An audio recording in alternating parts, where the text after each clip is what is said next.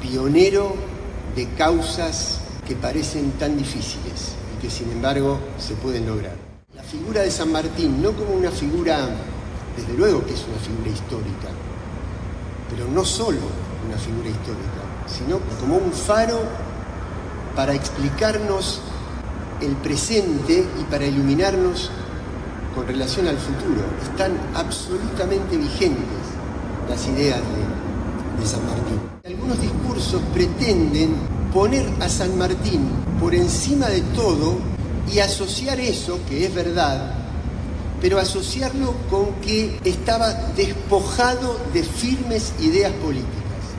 Es decir, para expresar a todos no hay que tener ideas tan firmes, no es así. Pocos personajes de nuestra historia, pocos como San Martín, con ideas tan, pero tan firmes desde el punto de vista más elevado de la política, que es representar los intereses del pueblo. Los otros días leía una columna muy interesante de un querido jurista argentino que se llama Alejandro Slócar, y me agregó un elemento, que es la profunda concepción que tenía San Martín de la justicia. de una justicia imbuida de ideas modernas. Convertía la justicia en un valor muy superior a la idea de justicia que heredábamos de las antiguas instituciones coloniales.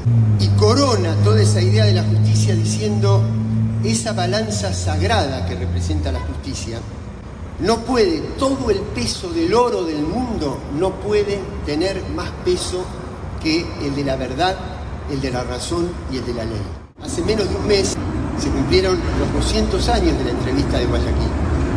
Dio lugar a muchas interpretaciones en la, en la historia. Y desde luego que hubo diferencias de criterio entre dos personalidades tan enormes como las de San Martín y, Bolívar. Pero las diferencias inclusive de los planteos militares, ninguna de ellas puede eclipsar el componente fundamental de esa reunión, que es el de la unidad latinoamericana. Imagínense si se hubiera concretado ese sueño de la unidad latinoamericana. Evolución de los tiempos nos pone hoy ante desafíos y ante amenazas muy grandes que ya ni siquiera me animo a decir que vienen de estados poderosos, sino de sistemas concentrados muy poderosos, que van más allá del poder de los estados.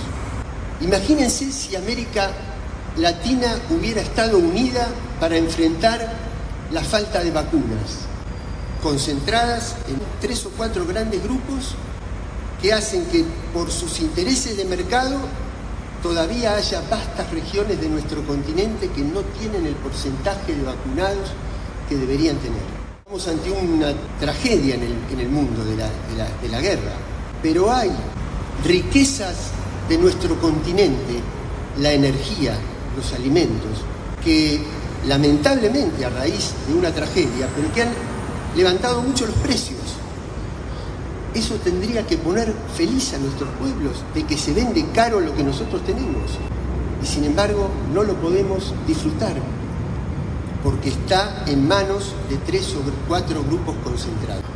Los intereses privados se concentran y América, por no haber cumplido el horizonte de San Martín y de Bolívar, de tres grandes virreinatos los convertimos en treinta y pico de estados desunidos de América Latina y de América del Sur. ¿Cuán vigente está hoy esa idea central del encuentro histórico entre esos dos grandes hombres, Bolívar y San Martín, a quien como argentinos le rendimos homenaje en esta mañana? Muchísimas gracias.